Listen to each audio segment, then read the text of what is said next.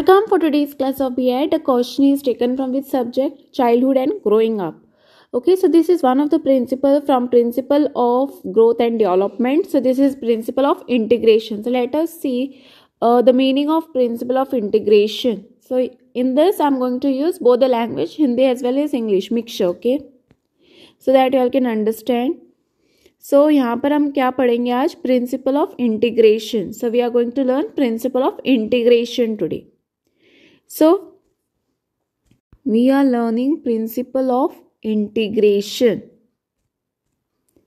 The principle of integration means that a child starts to integrate different parts along with the passage of growth. As a child speaks the different sound at first, but the lingual development, the child learns to integrate the sound into words, words to sentences with meaning so what happens? A child okay if there is a child first he will uh, learn uh, alphabets okay a b c. So first the child is going to learn the alphabets okay alphabets and then what is the child going to study? Then the child is going to frame it into sand, words okay?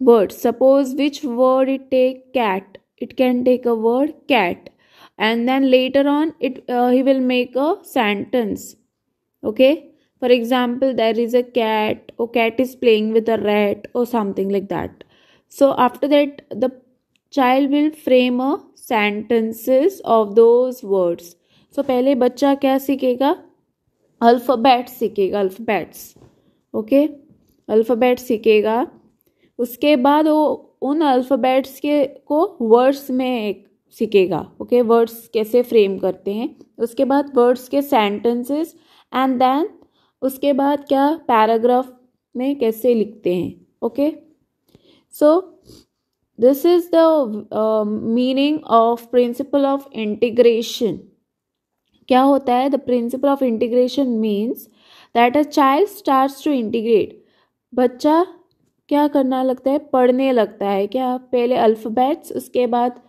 Alphabets को words में frame करेगा, उसके बाद वो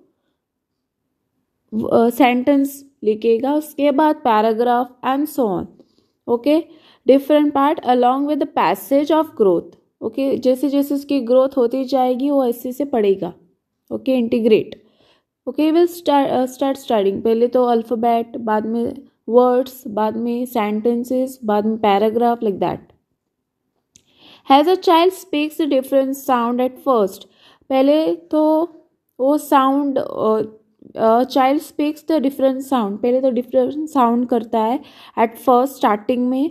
But with the lingual development जैसे जैसे वो develop होता है, क्या होता है? The child learns to integrate this sounds into words so sound को वर्ड्स में करेगा. Okay okay? Words to sentences and O words ओ बाद में सेंटेंसेस में ये करेगा and then E will make at a meaning इसके बाद meaning words to sentences with meaning okay words जो फ्रेम करेगा, उसके बाद वो सेंटेंसेस विथ मीनिंग में जाएगा okay from words to words from words okay into sounds into words जो साउंड कर रहा है।